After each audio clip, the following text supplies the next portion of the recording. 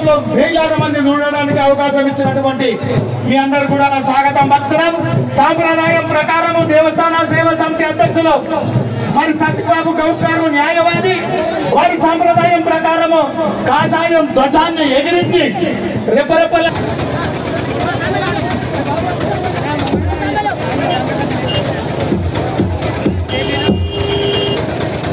ఆకాశ దీపాలు బ్రహ్మాండంగా మీదికి పోతుంటే ఎంతో దూరం. అంటే